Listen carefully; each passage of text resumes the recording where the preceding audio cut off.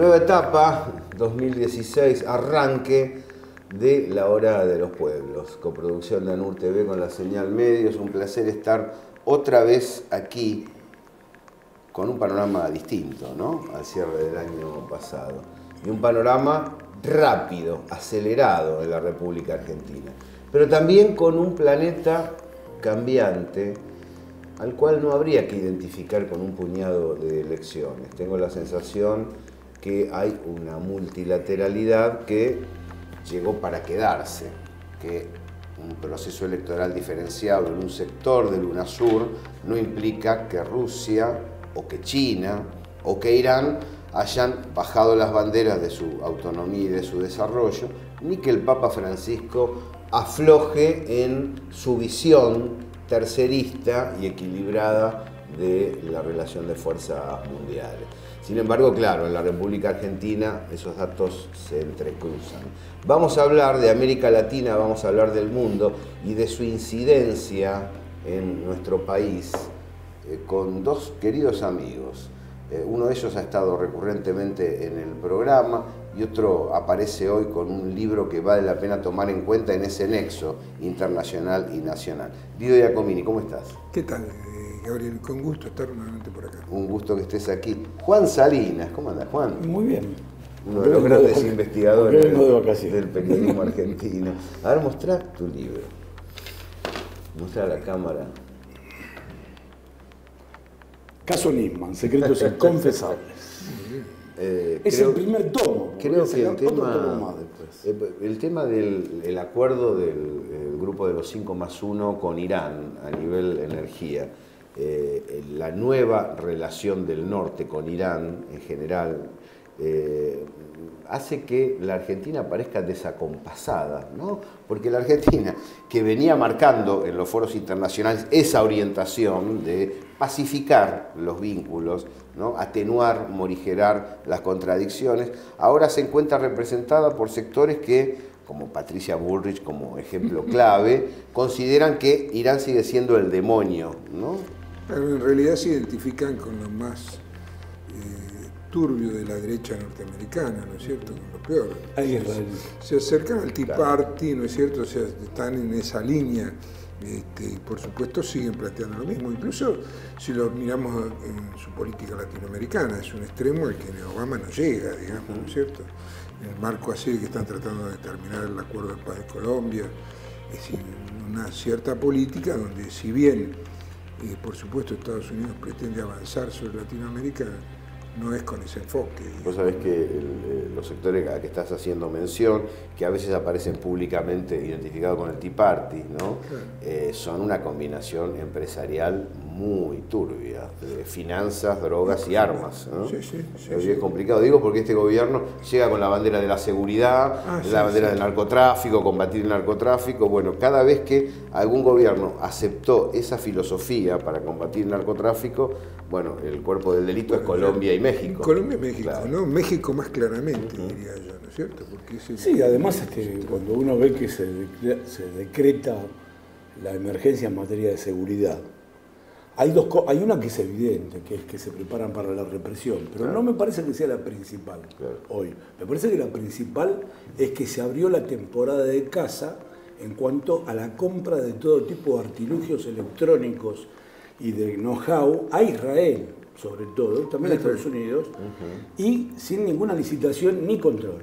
Entonces, eh, vamos a asistir ahora a mucha gente. Yo creo que se van a enriquecer muchos y que creo que hay una avidez de hacer negocios, este, pero también cabe una autocrítica aquí, porque el kirchnerismo, eh, quizá por, para compensar lo que estaba pasando con el tema AMIA, sí, y todo eso, había hecho, había dejado en el Ministerio de Defensa unos contratos con Israel que después tiraron para atrás, pero que dejaron ya el camino abierto para esta explosión que hay ahora, ¿no?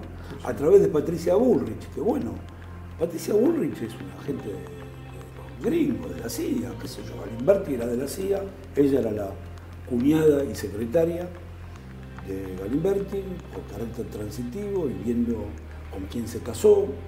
Y el sistema que tiene es evidente que es de esa, de la derecha norteamericana, vale, también es cierto vale señalar en esa, en esa dirección, ¿no? Como, como aclaración, porque hay como lugares comunes no siempre investigados en la vida política.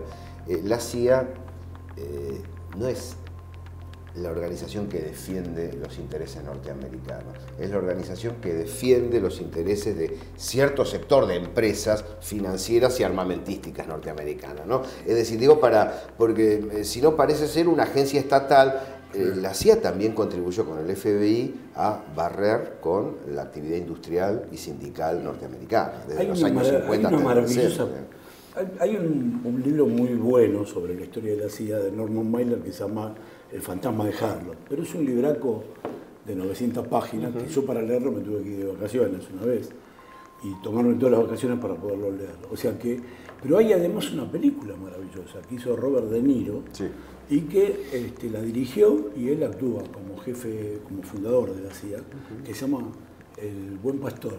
es, una, película que dura como tres horas. Es altamente recomendable porque se ve eh, cómo se conforma la CIA, ¿no? Y la CIA tiene un origen WASP, White Anglo-Saxon and Protestant. Y el que la forma es irlandés, que es Robert De Niro. Verdaderamente fue un irlandés el primer jefe, ¿no?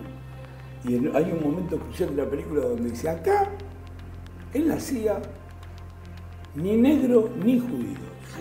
Y, católicos, algunos solamente porque estoy yo. hay, una, hay una situación interesante en esta campaña norteamericana no sé si han leído más a fondo quién es Bernie Sanders, el, candidato que se ha acercado a dos décimas de, Hillary en, en, estas elecciones en Ohio.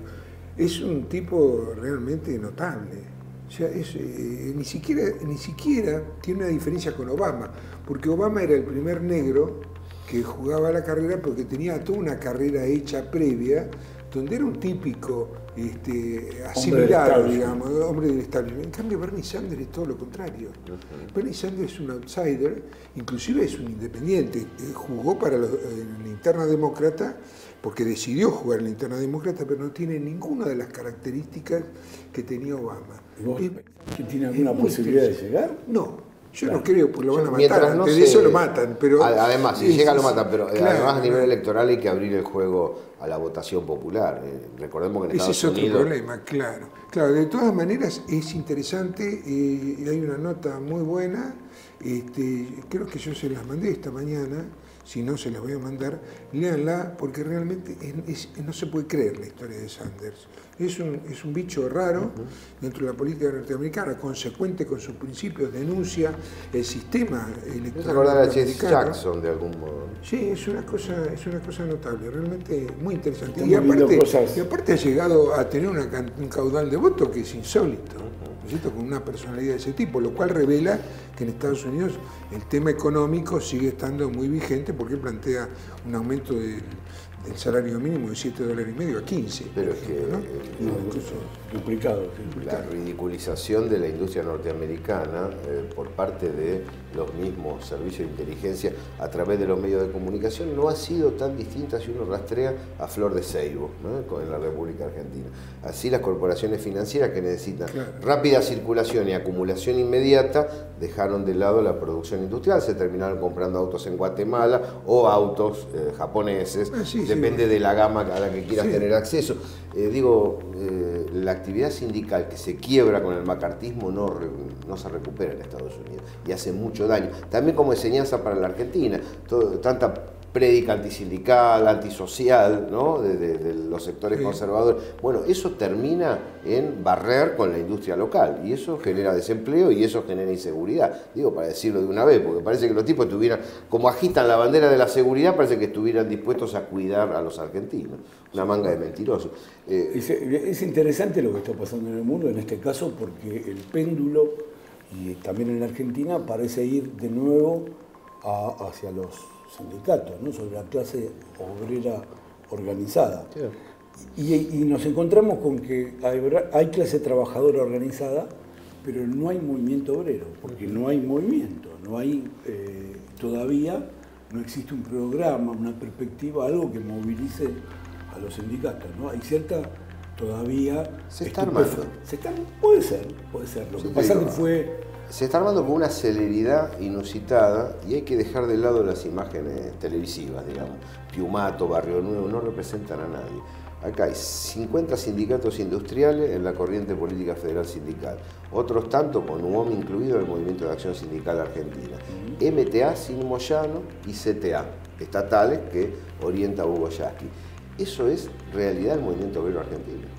Eh, y queda fuera los gastronómicos y bueno, y queda fuera este, Piumato. Sí, y además hay una correspondencia con el fenómeno eh, tan raro que se está produciendo, que es la afiliación masiva al Partido, al partido justicialista. justicialista y lo mismo, yo pienso que Bocio, hoy decían, Bocio rompe el Partido Justicialista. No, yo creo que Bocio no representa a nadie. Les voy a preguntar en el próximo bloque si están de acuerdo con que el movimiento popular se afilie al Partido Justicialista o si mejor buscar eh, la protesta por otro lado. Pero también te quiero preguntar por tu libro, eh, cuál es la hipótesis básica del caso Nisman mientras le mandamos saludos a, Carlos Benítez. Y también quiero agradecer, eh, los clásicos nunca están de más, a eh, Juan Carlos Manuquian, a la gente de SICUS, que nos manda bueno, un material de uno de los que ha participado en la formación que tenemos, que es José María Rosa, un texto de Enrique Manso. Vamos a una pausa y nos reencontramos en el segundo bloque de La Hora de los Pueblos. We'll be right back.